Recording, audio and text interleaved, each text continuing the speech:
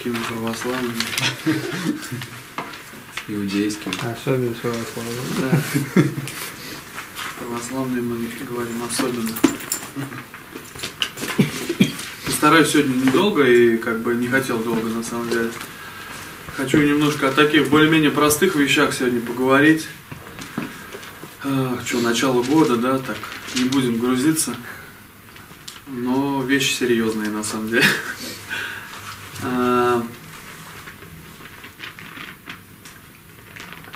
Часто вот из-за чего мы чувствуем нужду, чувствуем себя не очень хорошо, чувствуем слабыми себя, да? А, Есть такая поговорка в миру, знаете, мы то, что мы. Что? О себе думаю. Нет, мы то, что мы едим. Знаете, есть такая фотография там. Гамбургер, да, э, на фотографии Мгм. из Макдональдса, да, и написано «Мы то, что мы едим». И на самом деле так, вот, что мы едим, то и есть. И как много, много, да, и болезней у человека бывает от чего? От того, что он кушает, да. Ест много жирного, проблемы с печенью и так далее. И не только с печенью.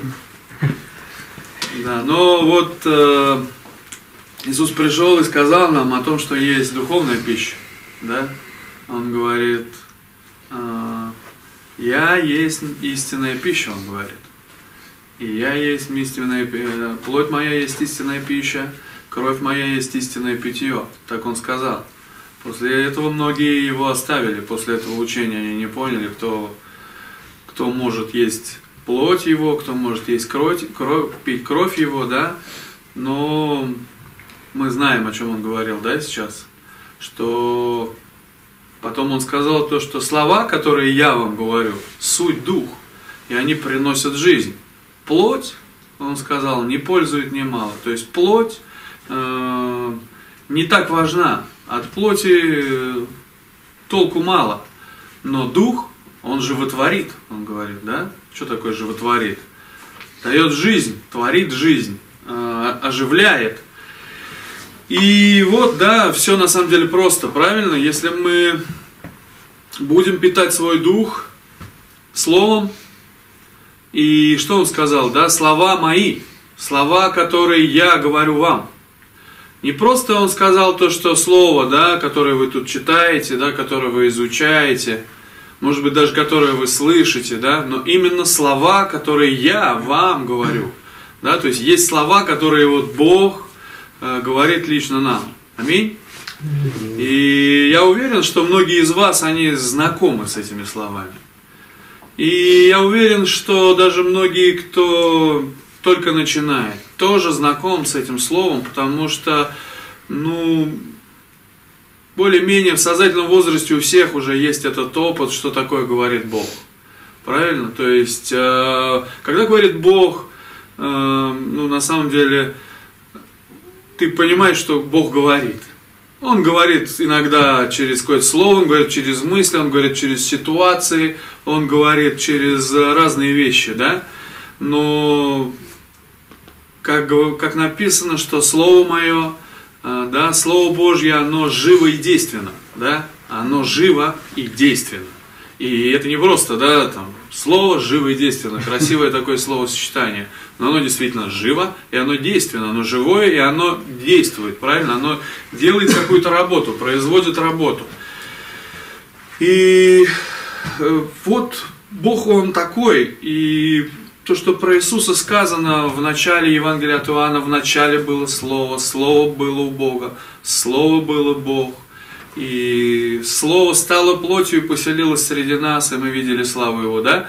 То есть э, это все про, про это, то, что Иисус это Слово, это действенное Слово, Слово, которое в плоти мы видим через Евангелие, которое вот облеклось в плоть, да, пришло в образе э, Иисуса, человека.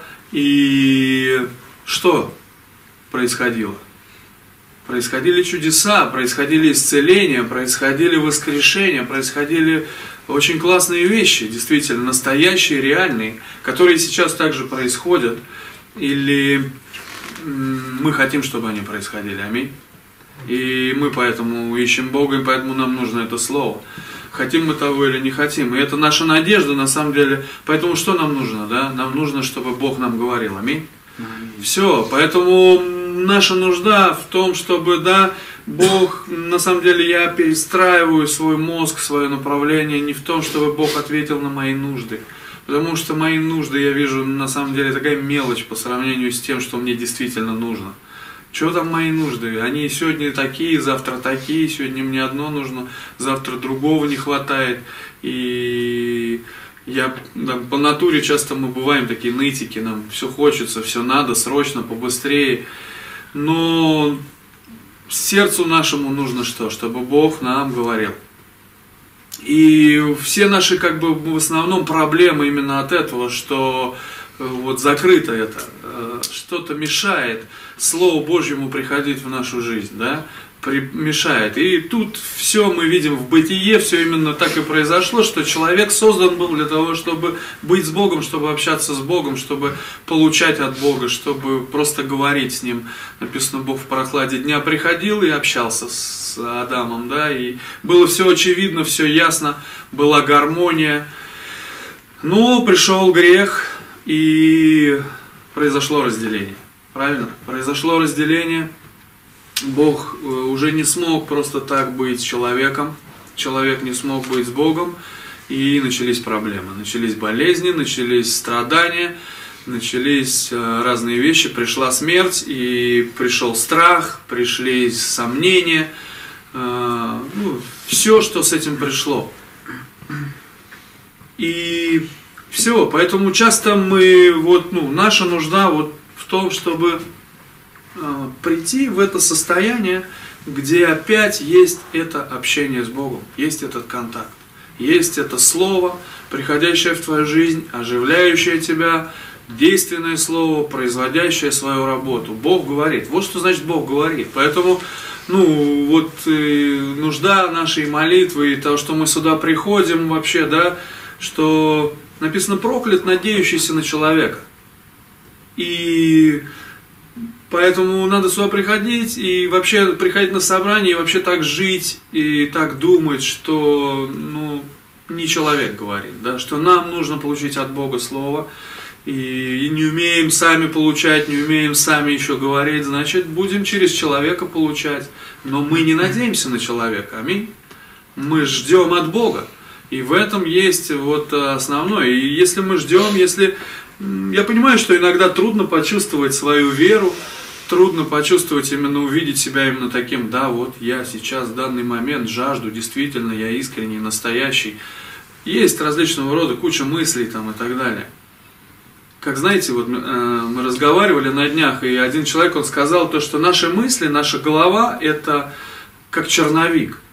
Знаете, вот мы Иногда есть черновик, когда вот ты что-нибудь делаешь, какую-то работу, или что ты, ты, ты ведешь черновик. Ты раз написал, зачеркнул, написал, зачеркнул, посчитал, у тебя там все грязно, все зачеркнуто, ну работа ведется. Вот наш разум, наше мышление, оно похоже так на это, что мы действительно вот об этом подумали, потом уже решили, что и не так уж это важно, и кучу всякой такой да, работы. Но есть чистовик еще, правильно? И чистовик, он уже вот в сердце, да? Чистовик, он уже перед Богом. Поэтому Бог часто не обращает внимания на наш черновик.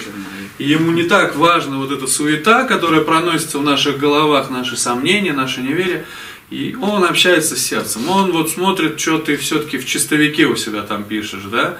Пускай там просто одно слово, корявыми буквами, с левым наклоном.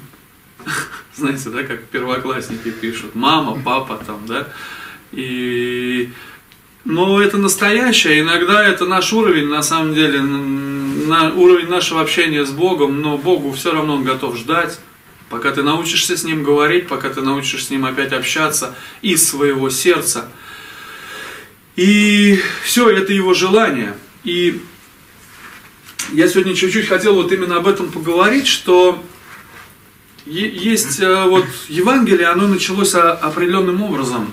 И э, есть принцип, по которому оно началось, и как оно вот идет, и как оно работает.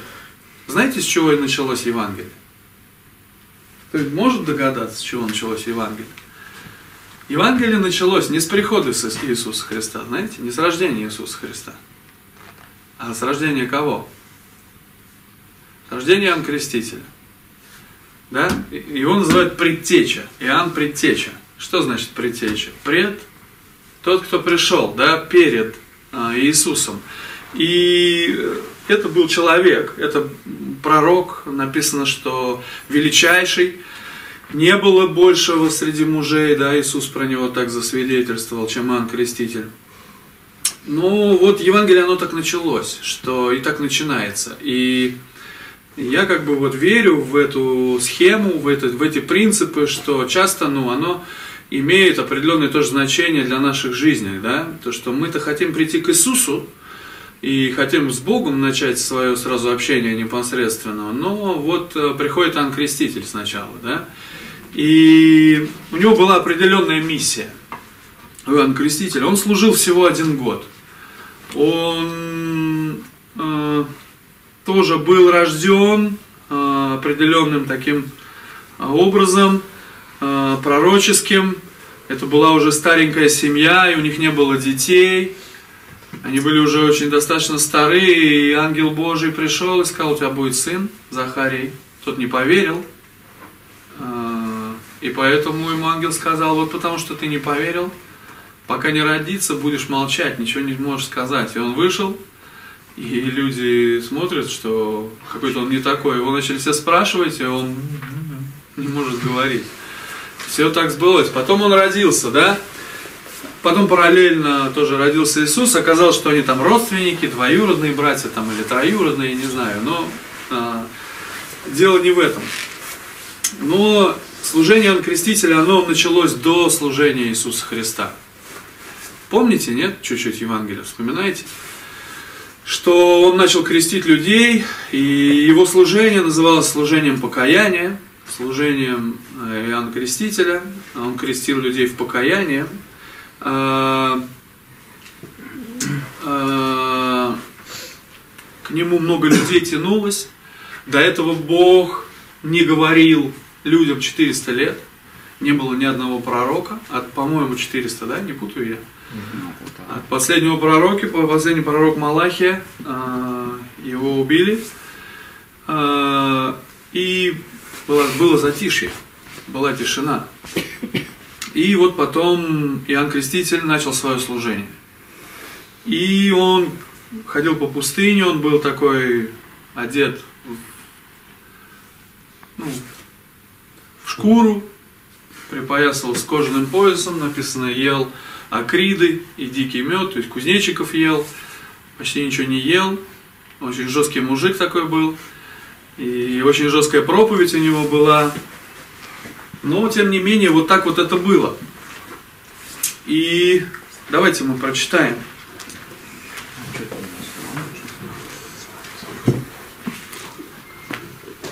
Это Евангелие от Луки, третья глава.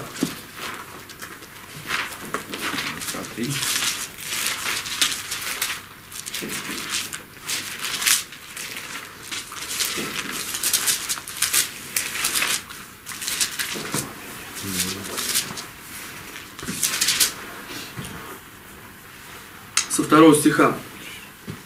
При превосвященнике Анне Каиафе был глагол, был глагол Божий к Иоанну, сыну Захарии, в пустыне. И он приходил по всей окрестной стране Иорданской, проповедуя крещение покаяния для прощения грехов. Как, как написано в книге слов пророка Исаия, который говорит, «Глаз вопиющего в пустыне, приготовьте путь Господу, прямыми сделайте стези ему, всякий дол да наполнится, и всякая гора и холм да понизится, кривизны выпрямятся, и неровные пути сделаются гладкими, и узрит всякая плоть спасения Божье. Да, то есть, э, вот такая проповедь была у Иоанна Крестителя, что всякий, да, дол сделайте прямыми стези перед Богом, да, ему. Всякий дол да наполнится всякая гора и холм, да понизится, кривизны выпрямятся, выпрямятся и неровные пути сделаются гладкими, и узрит всякая плоть спасения Божье, да? То есть, э, о чем он здесь говорит, да? Он говорит о сердцах тоже, правильно или нет? Ему не, не, он не про горы же говорит, правильно? Не про долины, он говорит про сердца человеческие, то, что он говорит все, что думает о себе больше, гор, гора, холм, гордые, да, надменные, пускай понизится. Те, кто думают о себе ниже, всякая долина и, и там, да, низина, пусть они тоже повысятся, потому что, ну, нужно, он говорит о сердце, о мышлении, о том, что на самом деле нужно задуматься, нужно вот посмотреть на себя так, как есть, нужно вот эти кривизны, да, пусть кривизны, вот эти, правильно, да, знаем мы, что это, да, движение. Любили мы так на улице всегда, да, двигаться вот так вот. Поэтому пускай вот эти вот э, намерения такие, да, то как э, неискренность, да, всякие помыслы и так далее, да, пусть они выпрямятся. Он здесь говорит о том, что, ну вот, это нужно сделать. Это то, что человек должен сделать само свое усилие сам в себе, чтобы Бог мог ну, прийти в жизнь человека, чтобы была подготовка определенная, чтобы человек сделал усилие для того, чтобы Бог мог работать, да, чтобы Богу не пришлось рубить твои горы, да, наполнять твои долины, но, э, да, и выравнивать твои дороги, вытягивать, потому что, ну, Бог, Он на самом деле, ну, у него бесконечное терпение к человеку, и он, ну, будет делать свою работу. Просто если человек не, при, не сделает свои усилия, не приложит к этому свое усилие, э, будет просто больно человеку, больнее, да, будет сложнее, будет дольше, будет много потеряно времени и так далее. Поэтому Иоанн Креститель, он пришел с такой проповедью, что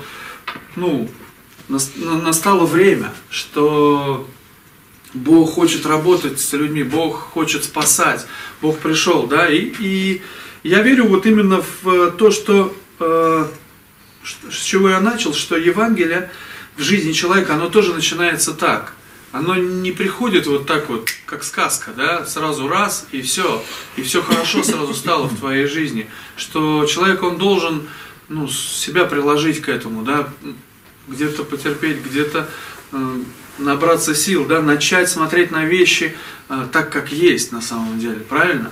И давайте дальше, он, он там тоже дальше говорит – Иоанн, 7 стиха, приходящему креститься от него народу говорил. Представляете, народ приходит креститься, да, народ приходит такие, они услышали слово, их коснулось, они почувствовали, что мне не нравится это слово, но, знаете, Бог задвигался, да, что что-то начало происходить. Но оно так понятно для нас, да, что Бог задвигался. Вот была тишина, было молчание, не было ничего, жизнь была одинаковая, все, все шло как шло, отцы умирали, дети рождались, римляне пришли, захватили, кризис в стране, безработица, проблемы, как вот Вадим сегодня говорил, теракты, убийства, какие-то страшные вещи. Все то же самое у них происходило и у нас так происходит. Поэтому я не верю в то, что когда люди говорят, о, раньше было лучше, сейчас хуже. В Библии написано, не говори никогда так, что раньше было лучше, чем сейчас. Это не от мудрости. Что было, то и есть, и человечество оно всегда так живет, всегда проблемы, всегда кризисы. Из одного выходишь, в другой погружаешься. Вот, да, сколько у нас уже на, на нашем веку только кризисов, да? Советский Союз распался в 92-м, там, да, потом в 98-м доллар, рубль рухнул, еще раз в 2008 там рухнул, где не рухнет, там мы чувствуем все время, правильно? И все, кризисы не кончаются, всегда проблемы. И ну, мы вот как люди, мы что, что нам остается делать? Вот вариться в этом кризисе, да? Или все-таки вот задуматься о том, что Бог задвигался, да? Пускай такая формулировка не очень э, действительно духовная, красивая, но она ясная, правда? Что, да, вот что-то начинает происходить. Э, и вот здесь также. И люди это почувствовали, и вот они, написано, что они побежали к нему туда, в пустыню, креститься. А, хорошие все, услышали. И он им говорит, что порождение ехидные. При, приперлись, да? И дальше им читает, да? Кто внушил вам бежать от будущего гнева, да? То есть он им достаточно так жестко. Сотворите же достойные плоды покаяния, и не думайте говорить в себе, отец у нас Авраам, ибо говорю вам, что Бог может из камней сих воздвигнуть детей Аврааму, да? То есть, опять же, да, не, не вздумайте просто так, просто так легко говорить, что ты верующий, что Бог с тобой, что, что ты верующий, потому что ты верующий, а христианин. Это, это должно быть не в том, что ты просто вот говоришь и все, провозглашаешь так. Поэтому он говорит, хватит уже, вот, да, так в детский сад в этот играть. Да, Бог, Он из камней может верующих сделать. А он говорит, сотворите достойные плоды покаяния. Уже секира при корне деревов лежит, всякое дерево, не приносящее доброго плода, срубают и бросают в огонь. И спрашивал она, что же нам делать, да, то есть, ну, э, они уже конкретно его такие спросили, ну, ладно, поняли, мы плохо, но что конкретно делать-то нам, да?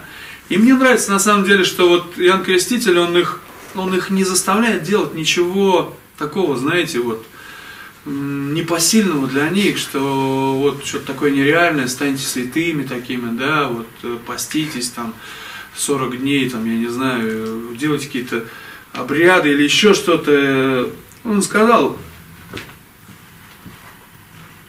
он сказал им в ответ, у кого две одежды, тот дай неимущему, у кого пища, делай тоже.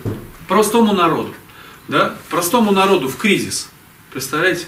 Вот кризис, у них римляне, у них проблемы, а Иоанн Креститель им как бы не о грехах их не говорит, то, что тебе нужно там, да, какие-то вот вещи вычистить, ты должен стать более чистым, более духовным. А он им говорит, начните помогать другим. Понимаете? Начните помогать другим. Начните жить не только для себя в этой жизни. Просто вы посмотрите, что вокруг вас еще есть куча людей, которых намного хуже, чем у вас. И на самом деле это выход часто. Я в своей жизни выход э, часто в этом вижу, нахожу, вдохновляюсь от того, что ну, можно всегда смотреть на тех, у кого что-то больше, лучше, и завидовать их, и ну что будет? Что будет от этого? Что ты будешь чувствовать? Знаете, какое самое э, животное ужасное, которое больше всего людей убило? Знаете или нет? Вот некоторые говорят, что это муха ЦЦ вроде там, да? Знаете, какая самая? Жаба. От нее самое большее количество людей страдает на самом деле, которые душат, душат, да. На самом деле, правильно? И эта жаба часто не дает жить. Просто вот все нормально. Все нормально было бы, да? А жаба душит, правильно? И можно вот обращать внимание на жабу и думать, как все плохо, как критиковать, как у других лучше, и ныть все время, да, и так далее. Или прислушаться и начать просто двигаться в другом направлении. И Иоанн Креститель его спросили, и он говорит про плоды.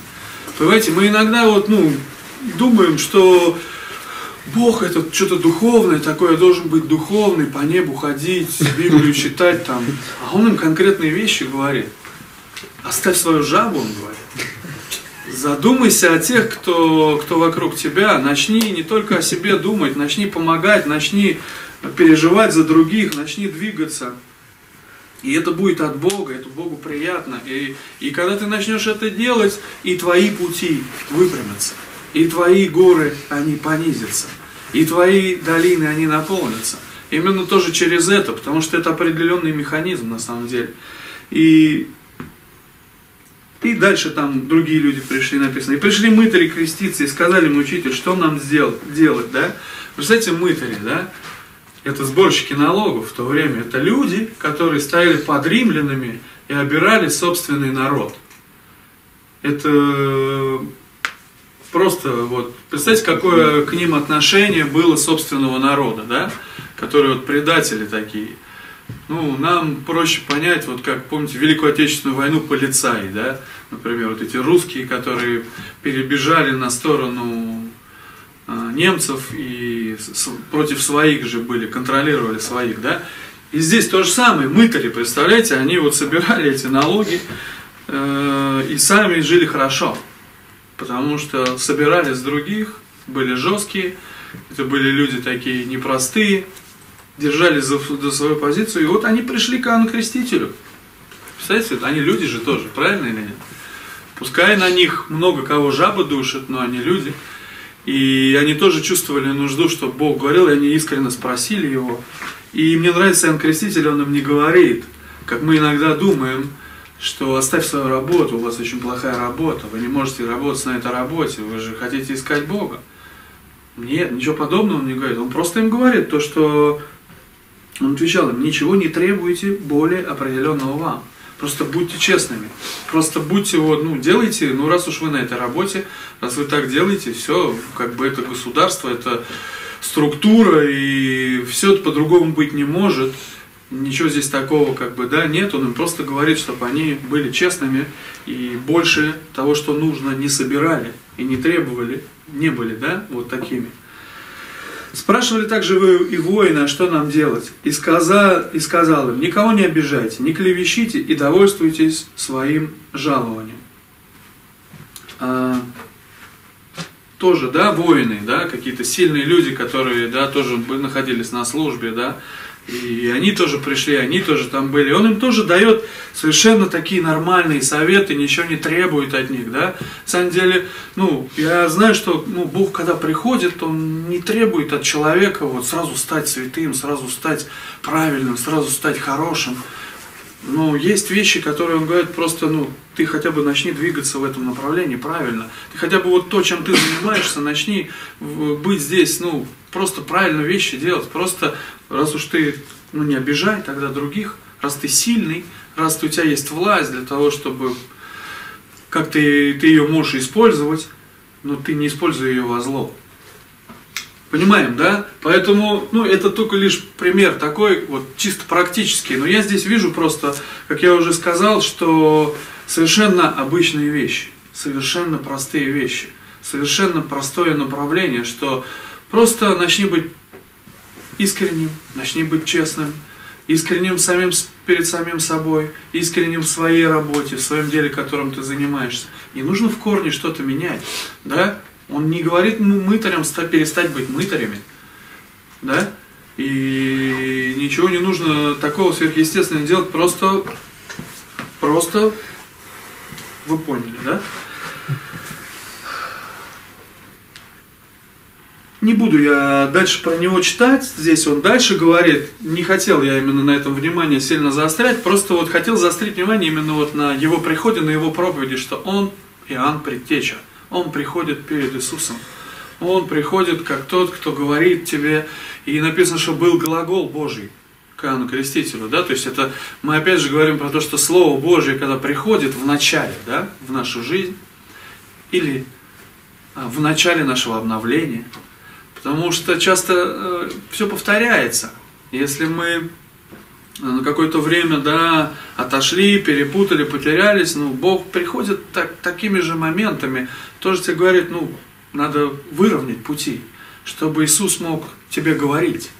Правильно? Потому что Иисус на самом деле Слово. И дальше ведет Он. И основное Слово, оно от Него.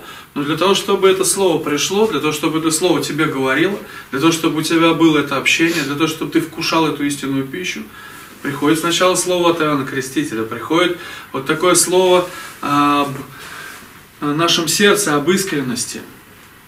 И очень интересный пример происходит с Иоанном Крестителем. Да? Вы знаете, что с ним произошло? Что был царь такой Ирод, иудейский царь. Это он не римлянин, он в принципе иудейский царь, то есть это нормальный царь.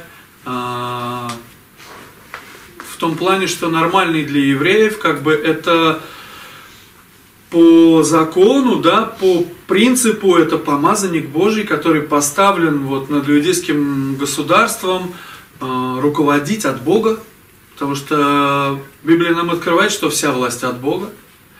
Он поставлен для того, чтобы заботиться о своем народе. Он царь. И не просто вот он так поставлен, но это, это факт. И он говорил, что он не римлянин, соответственно, у него есть там свои собственные полномочия. И то, что иудеи находятся в оккупации от римлян, это как бы ничего там не меняло. Царь все равно существовал, он был за свой народ. И просто а, и он как бы был, должен был заботиться о своем народе, должен быть, не просто заботиться, он должен быть премьером. Аминь. Примером для своего народа, он лидер своего народа, он тот, кто должен иметь отношения с Богом в первую очередь тоже. И вот у этого царя иудейского, да, у Ира, да, у него были отношения с Иоанном Крестителем, знаете, да? Давайте я вам сейчас прочитаю это. Это Марка, 6 глава.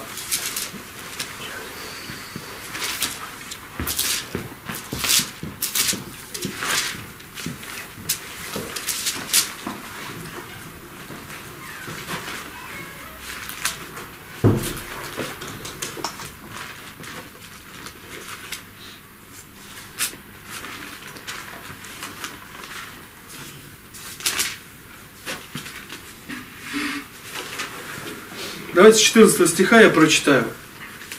Царь, Ирод, услышав об Иисусе, ибо имя его стало гласно, говорил, это Иоанн Креститель, воскрес из мертвых, потому что чудеса делаются им. Другие говорили, это или, а иные говорили, это пророк, или как один, или как один из пророков.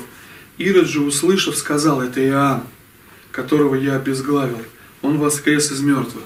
То есть туда мы видим Ирод, он морочил голову себе, что что-то он сделал не так, он обезглавил Иоанна Крестителя. Он отрубил голову ему, да, мы сейчас прочитаем, как это произошло. Ибо сей Ирод, послав взял, послав, взял Иоанна и заключил его в темницу за Иродиаду, жену Филиппа, брата своего, потому что женился на ней. Ибо Иоанн говорил Ироду, не должно тебе иметь жену брата твоего. Иродиада же, злобясь на него, желала убить его, но не могла, ибо Ирод боялся Иоанна, зная, что он муж праведный и святой, и берег его, и многое, и многое дело, слушаясь его, и с удовольствием слушал его. Настал удобный день, когда Ирод по случаю дня рождения своего делал пир вельможам своим, тысяченачальникам и старейшинам галилейским. Дочь Иродиады вошла, плясала и угодила Ироду и возлежавшим с ним. Царь Царь сказал девице, проси меня, чего хочешь, и дам тебе. И клялся ей, чего не попросишь у меня, дам тебе, даже до половины моего царства. Она вышла и спросила у матери своей, чего просить. Та отвечала, головы Иоанна Крестителя. Она тотчас пошла с поспешностью к царю и просила, говоря, хочу, чтобы ты дал мне теперь же на блюде голову Иоанна Крестителя. Царь опечалился, но ради клятвы и возлежавших с ним не захотел отказать ей. И тотчас, послав оруженосца, царь повелел принести голову его. Он пошел, отсек ему голову в темнице и принес голову его на блюде и отдал ее девице, а девица отдала ее матери. Вот такая вот, такой триллер произошел, да, такая история, что был вот этот царь, помазанник, лидер своего народа, а, который на самом деле – вот здесь написано, Ирод же боялся, Ирод же боялся Иоанна, зная, что он муж праведный и святой, берег его, многое делал, слушаясь его, и с удовольствием слушал его. До этого он посадил его в темницу, потому что тот открыто обличал его в том, что он женился на жене своего брата. То есть вот был, было такое открытое прелюбодеяние, открытое всем, э, такой грех, который Бог ясно говорил, что так нельзя, потому что брат был жив, и они, он просто взяли и поменялись, другими словами, да, но там он ему свою не отдал, но вот так вот сделал, потому что был царь, она понравилась, и все. И сделал, как он хотел. Но параллельно с этим написано, что он боялся его. И очень любил, здесь написано, что многое делал, слушаясь его. И с удовольствием слушал его. Представляете, то есть вот э, как оно может быть на самом деле, да? То есть вот э, э, видим, что Ирод, он был верующий человек, человек, имеющий вот, эту, вот этот вот как бы духовный, ну, канал, да, то, что, через который Бог ему говорил. Потому что он слушал, он чувствовал, что Иоанн, он от Бога, что он праведник, и он написано, многое делал, слушаясь его. То есть он был готов многое дел, делать, да, но вот этого вот открытого обличения он, он не делал, да, и вместо того, чтобы, ну, например, да, не заключать Иоанна в темницу, да, а позволить Иоанну ну, также продолжать говорить, потому что Иоанн не замолкал, голос Божий говорил через Иоанна. Просто говорил и говорил. И если бы не посадил Иоанн, он его в темницу, то вот так по логике, просто по человеческой, должен был бы настать такой момент, что Ирод бы просто устал от этого голоса и сказал, ну, я не, не могу это, ну, например, да, как может быть в жизни человек, я не могу это больше терпеть, вот мне это, это обличение, мне плохо, да, как мы бываем, да, делаем какой-то грех, грех, но если мы открыты для голоса Божьего, да, если мы его не сажаем в темницу, да, не затыкаем ему рот, да, не прячем его куда-то там в темноту, то голос Божий сделает свою работу. И ты будешь вынужден оставить этот свой грех, и Бог даст тебе на это силы, Бог даст тебе на это как бы вот, ну, ты устанешь просто от этого, и это ну, произойдет, потому что ну, не сможешь. Но что сделал, да?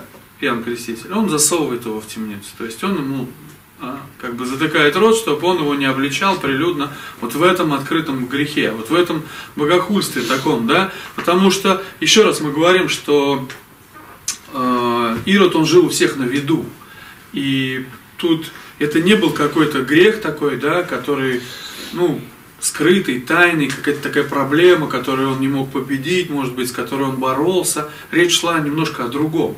Да? И я вот чуть-чуть об этом больше хочу сказать, что ну, есть а, разные грехи, написано, есть грехи к смерти, да, есть не к смерти. Но вот этот э, грех, это был грех к смерти. Открытый грех, открытое богохульство, просто попирание как бы Божьей истины, смысла и всего того, что есть а, у Бога, да? И о таком грехе я хочу говорить, да? что, ну и часто грех он сладок, и ему нравилось жить с этой женщиной, и он не мог ничего с собой сделать, у него, может быть, не было сил, она держалась за Ирода, да, тоже, она не хотела его отпускать, имела над ним какую-то власть.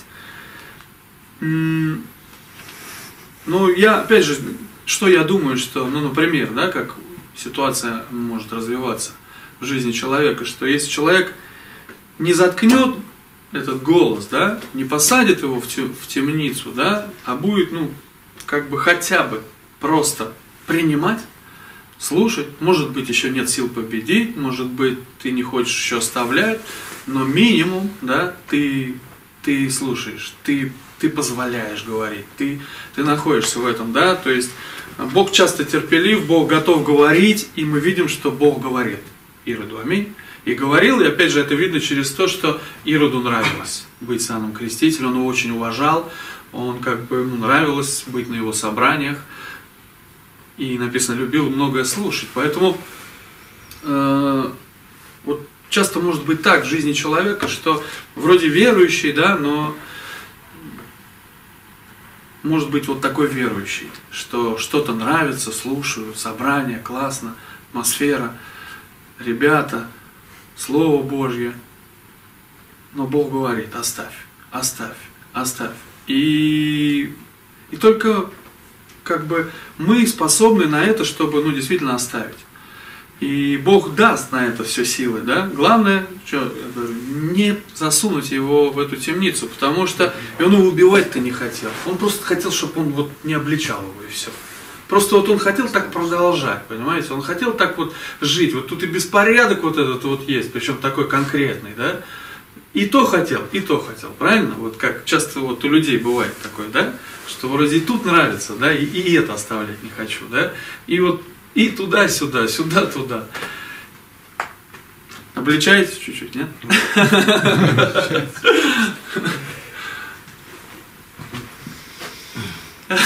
Что ты вздохнул-то? Не хочу перегружать. Я хочу просто вот преподнести эту ситуацию так, что, ну, это не совсем такой, да, мелкий грешок был на самом деле, да, потому что, ну, написано в Библии, что все мы много согрешаем, на самом деле, мы не можем полностью освободиться вот от каких-то привычек, может быть, моментов, ошибок там, но есть такие вещи сильные, открытые, да, как вот это, которые действительно нужно оставить, которые ну, не дадут тебе просто спокойно жить, не дадут тебе идти вперед. Да, и обязательно тут нужно побороться, применить усилия и оставить на самом деле. Потому что голос не замолчит. Он будет продолжать туда говорить, говорить, говорить. И помимо того, что тебе многое будет нравиться, однажды написано, настал удобный день. Вот здесь написано. Для кого удобный день? Для кого-то удобный день настал, когда Ирод по случаю дня рождения своего делал пир вельможем своим тысяченачальникам и старейшим. Ну, просто какой-то какой-то праздник был, да? Ирод тогда не знал, для кого этот удобный день и что за удобный день. И ничего он плохого не хотел делать. Ну, так получилось, что дочка его э, жены, она станцевала очень красиво, он растрогался и наобещал кучу всего. А она взяла и маму спросила, а мама была полностью против Иоанна Крестителя, и все первое, что она хотела убить, это вот этот голос Божий в жизни Ирода, да, вот э, добить уже этого верующего просто, чтобы вот ну, не было ничего, э, ничего не связывало этого человека уже с Богом, да, никакого света не приходило, просто полностью сокрушить. Это то, что хочет сделать дьявол, то, что хочет сделать сатана, да, то, что вот он со своими какими-то идеями, да, и мыслями, еще чем-то, он хочет вот убедить человека, оставь, зачем, зачем тебе это слушать, зачем тебе это, тебе это дискомфорт доставляет и так далее. И сделала свое дело. Написано, настал удобный день вот именно для этого. Вроде ничего не предвещало, э, поэтому я и говорю, что однажды вот все равно придется сделать выбор. Либо туда, либо туда. Бог долго терпит, Бог готов говорить, Бог готов работать, Бог готов двигать, да? Бог не требует ничего сверх твоих сил.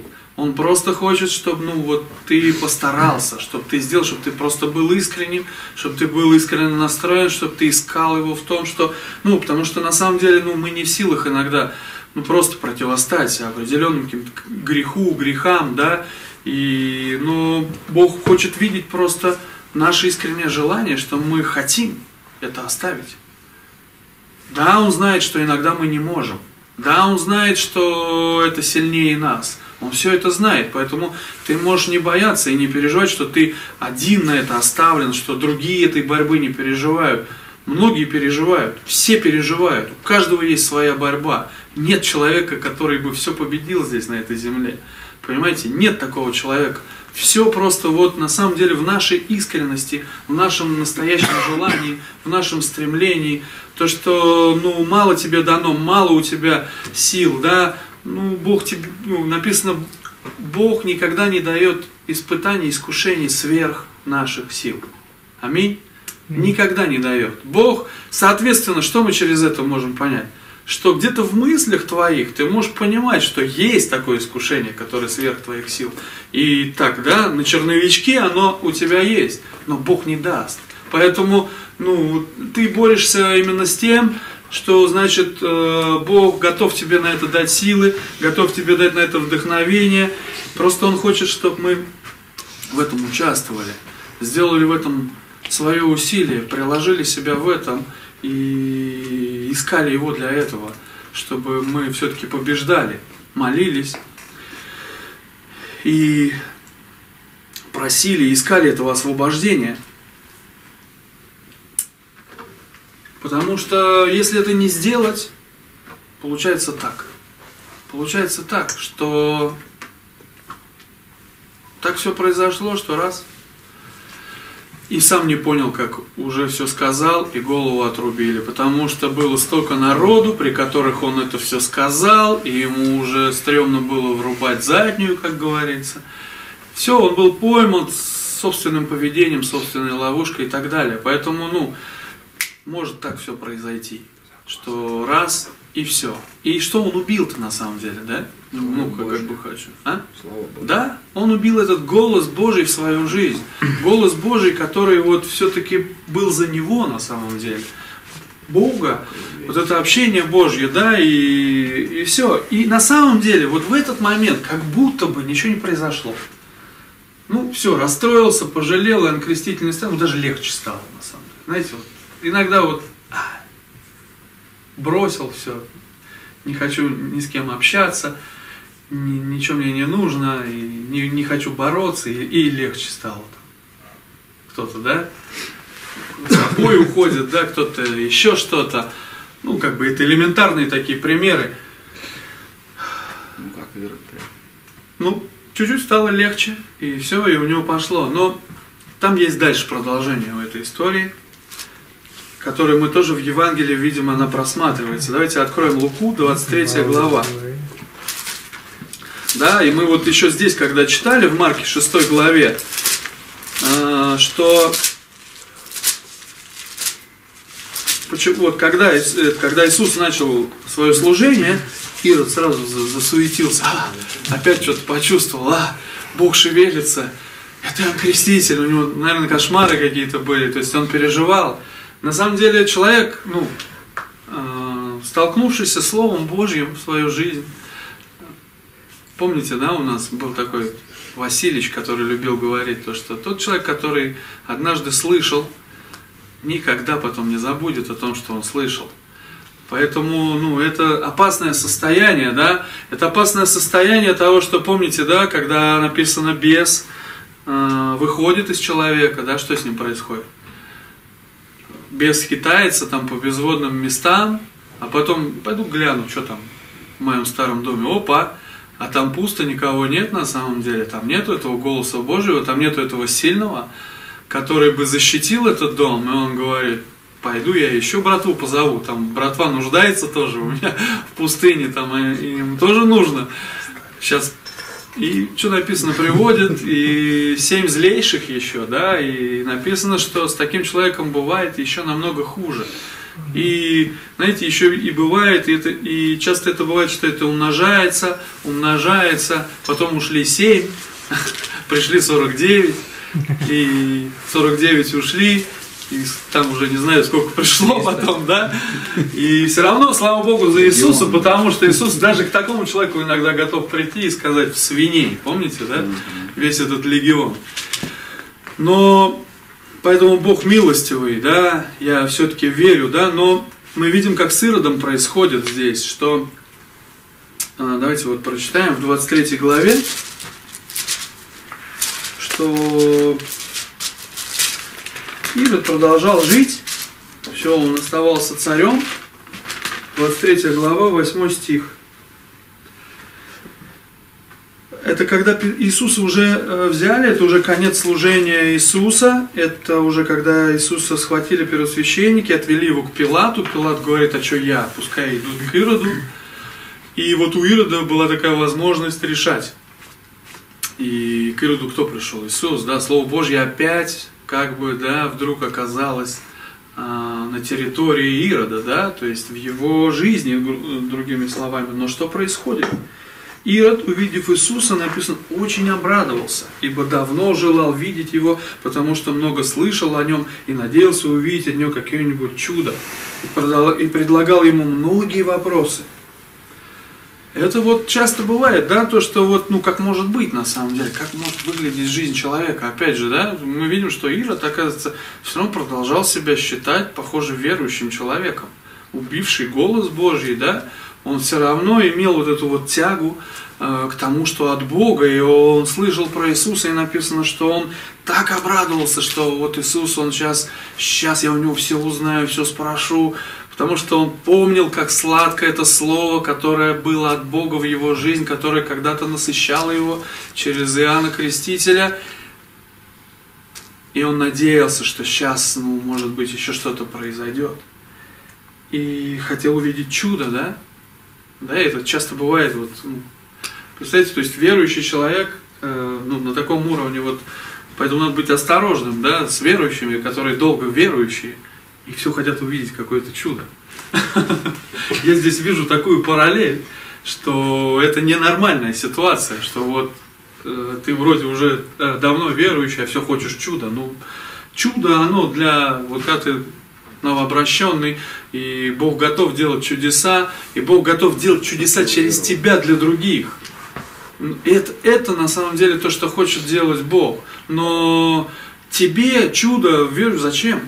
Верующему человеку уже чудо.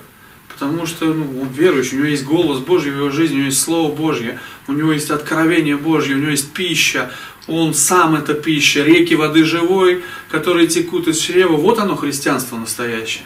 А когда человек еще долгое время продолжает жить чудесами, тогда осторожно. Тогда осторожно, потому что это, это ненормальное э, развитие христианской жизни, духовной жизни. Мы должны на, на, над этим задумываться. И мы видим, что здесь происходит, что и предлагал ему многие вопросы. Но что происходит? Но он ничего не отвечал ему. Представляете? Молчал Иисус. Просто молчал. Просто вот молчал и смотрел. Сволочь ты, Ирод. Убил ты Иоанна Крестителя. И ничего я тебе не скажу. Потому что так. И все. И, и все. И Иисус, он в свое время он не помог Иоанну Крестителю, да? Хотя, наверное, как Бог, он мог помочь вытащить его из тюрьмы, но так вот оно происходит, что служение Иоанна Крестителя, это служение Иоанна Крестителя, да? Это предтеча, это выравнивание путей, это время для того, чтобы очищать свое сердце, это время для того, чтобы э, просто стремиться к Богу, делать усилия, искать Бога и просто показывать Богу делами свое желание, свое настоящее желание. Искать Бога для этого, для того, чтобы выровнять путь, для того, чтобы Иисус, Он говорил тебе, для того, чтобы откровения Иисуса, они пришли в жизнь человека. Потому что мы видим, что Он потом хотел, и от Иисуса что-то тоже услышать. Хотел, очень сильно обрадовался, но Иисус ничего не говорил ему. Ничего, все. Представляете, слово закрыто. И вот это на самом деле трагедия. И часто бывает так действительно в, в реальной жизни, в христианской жизни, что вроде как и верующий, но Бог не говорит. И это вот хуже нету. Аминь. Помните Саула?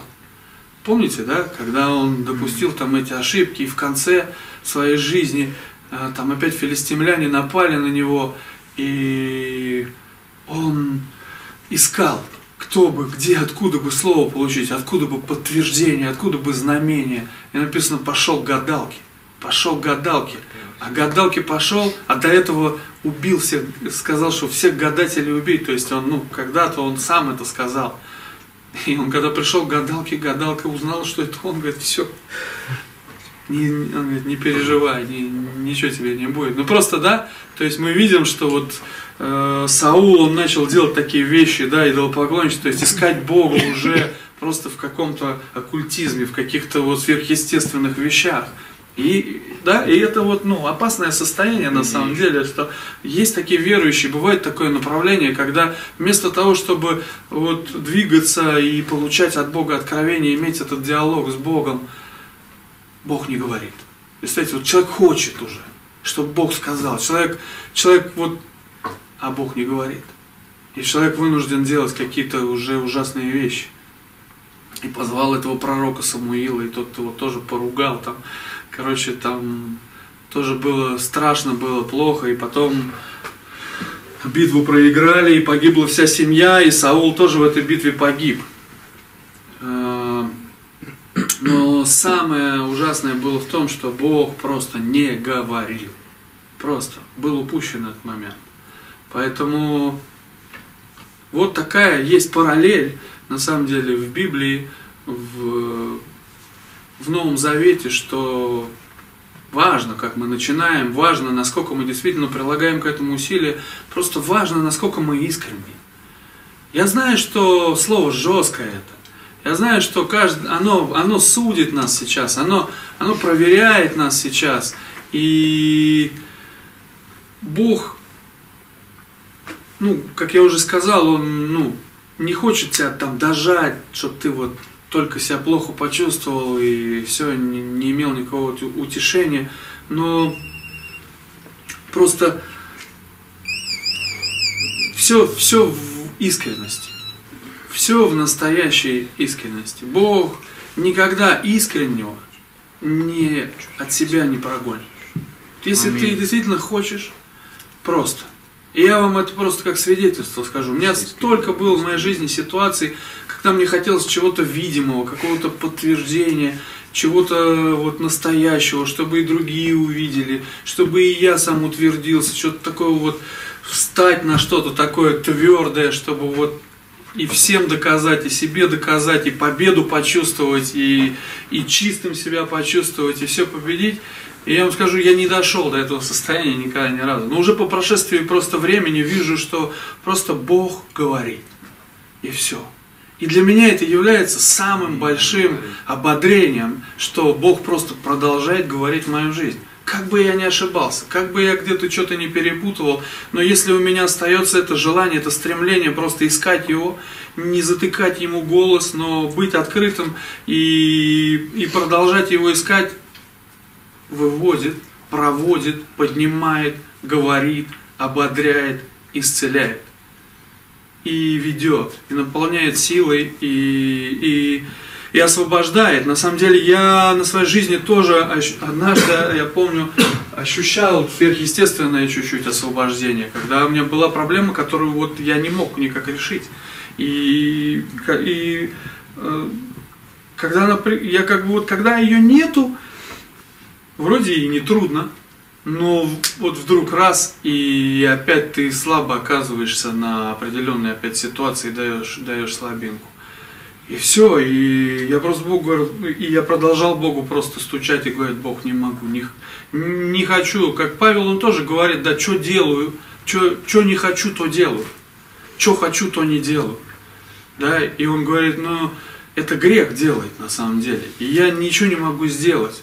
Но благодарение Богу, потому что Иисус, Он помогает нам а, это победить. И Он дает силу. И однажды просто вот Бог сказал, все, ты свободен. Вот просто мысль пришла, вот просто голос внутри прозвучал. И раз, и, и, я почувствовал, что я свободен. Не в этот момент я почувствовал, я просто увидел, что, что как будто это больше мною не владеет. И как бы мне даже не, не верилось, но оно начало работать. Просто оно начало работать. И я почувствовал эту силу, чтобы этому противостать. И, и на самом деле оно так. И давайте мы прочитаем 1 Ивана, Опять я, да, обещал, что недолго, короче, мы улетели. Не обещай. Как это?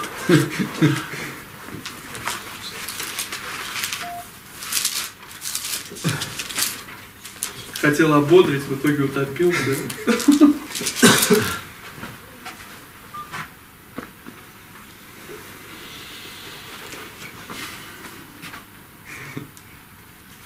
А, 1 Иоанна, первая глава.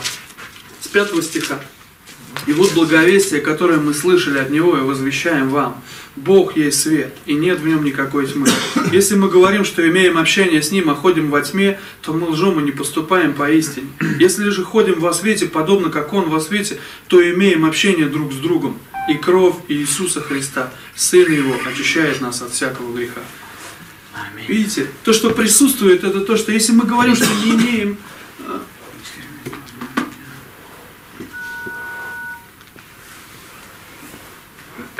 И восьмой стих. Если говорим, что не имеем греха, обманываем самих себя, и истины нет в нас. Если исповедуем грехи наши, то Он, будучи верен и праведен, простит нам грехи наши и очистит нас от всякой неправды. Если говорим, что мы не согрешили, то представляем Его лживым, и Слова Его нет в нас. Понимаете, да, суть и смысл Евангелия, что на самом деле э, Иисус не пришел вот э, сделать нас вот так вот э, святыми сами для себя, чтобы мы вот себя увидели сами святыми.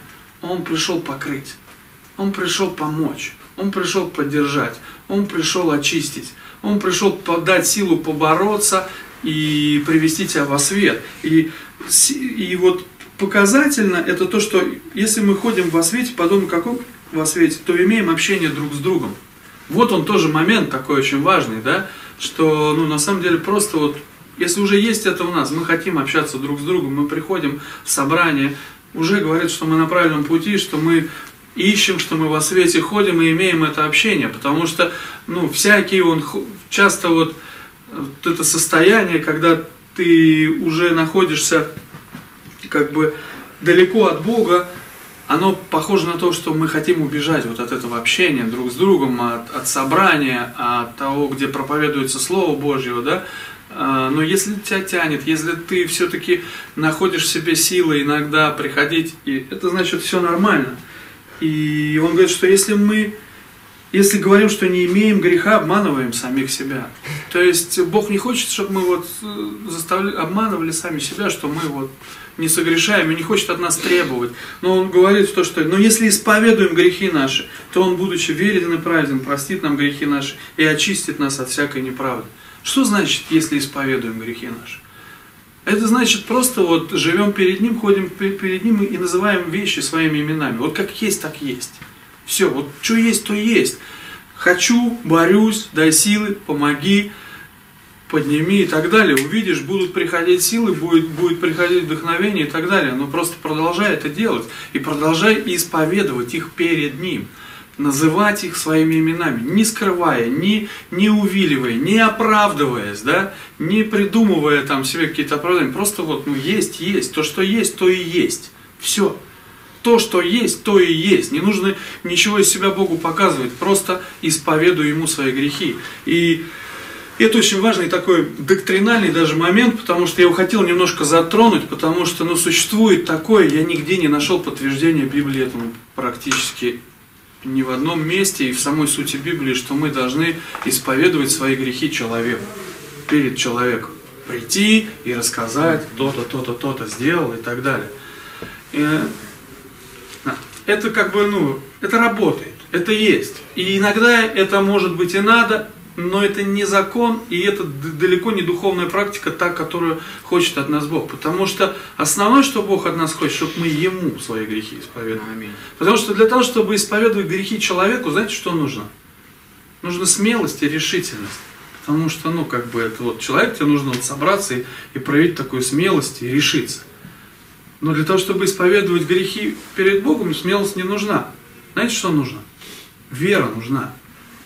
И Бог смотрит на веру на самом деле. Потому что, ну, вера нужна для того, чтобы исповедовать вот этому невидимому Богу, да, вроде как в пустоту, вроде как никому, назвать вещи самими именами, просто перед самим собой, просто как есть, просто разобраться, сказать, что чувствуешь, что думаешь, как происходит, что хочешь, куда хочешь, что ты хочешь, чтобы Бог сделал и так далее. Просто исповедовать Ему свое сердце, свои мысли, вот эти свои помыслы и так далее научиться жить, вот ходить во свете и искать Бога с тем, что ты есть, просто на самом деле.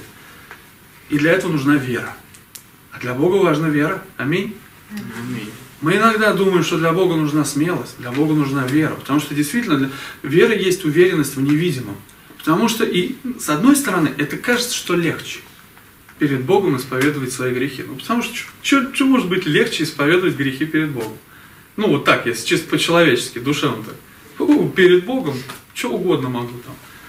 Потому что не вы, никто не узнает, это перед Богом вроде как легко, но на самом деле это трудно.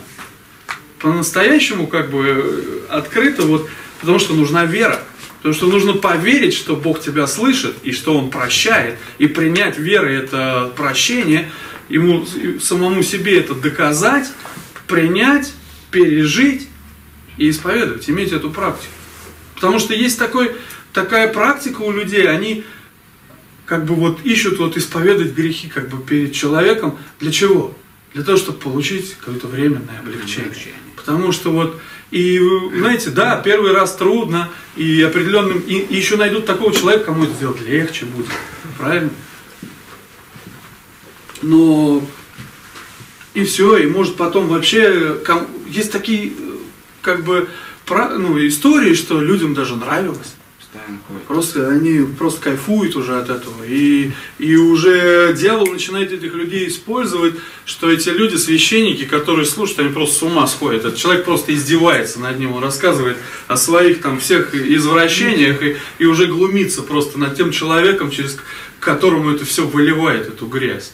Представляете, ну, есть какие заблуждения. Поэтому я просто вот, ну, как пример вам говорю, что мы, ну, и не чувствовали вот это осуждение, что я обязательно должен пойти к человеку. Было у меня такое, что, ну, я там критиковал одного человека, и, и ну, как мне, и, и мне, и пошел, и ему сказал, слушай, прости, я тебя критиковал. Он говорит, ну, ладно.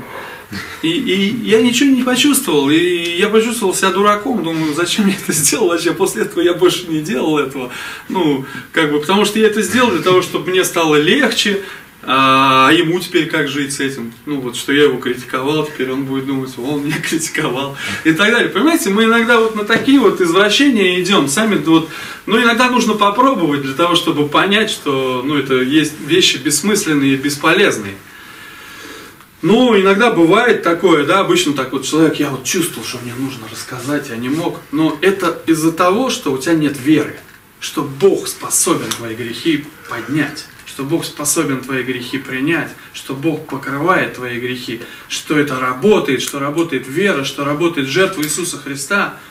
Мы все ощущений хотим, чтобы человеку рассказать и сказать, о, я, я, я решился, я сказал, я молодец, я и, и опять куда-нибудь, да? Э, поэтому э, такая вещь, э, она существует, поэтому вот я хотел чуть-чуть коснуться этого, вот что такое исповедовать грехи перед Богом, что это важно, и для этого нужна вера, и это просто на самом деле научиться перед Богом быть таким, какой ты есть, перед самим собой быть таким, какой ты есть, все, убирать всякое это лицемерие, убирать эти э, свои нечистые помыслы. И часто ты начинаешь искать Бога, и ты раз ловишь этот нечистый помысел в себе, ты его сдвигаешь, и там вылазит другой нечистый помысел. И ты вроде хочешь это тоже Богу сказать, что вот э, я вот такой, но на самом деле ты видишь, что это тоже твое лицемерие, и тебе нужно дальше раздвинуть и сказать, а вот теперь я, вот теперь я, что я тут перед тобой Бог прикрылся и такой маской, и такой, и перед самим собой, и перед людьми живу. Ну, хочу перед тобой жить. Аминь. Понимаете, нет, чуть-чуть? Чуть-чуть психология такая, да, чисто человеческая, но э, Богу важна вера. Бог хочет видеть веру. Бог работает с сердцем. Бог не работает с нашим черновиком. Мы там одно пишем, второе вычеркиваем и, и меняем свои решения и так далее. Но надо научиться искать Бога своим сердцем, чтобы Бог в сердце говорил, продолжал говорить, потому что я верю, что вот все люди, которые все-таки здесь присутствуют, слышат, Бог говорит. Бог говорит. Соответственно, э, в твоем сердце есть желание, ты ищешь, ты приходишь, ты борешься, и пускай Бог тебя благословит. Аминь. Аминь. Все. Спасибо. Благословение.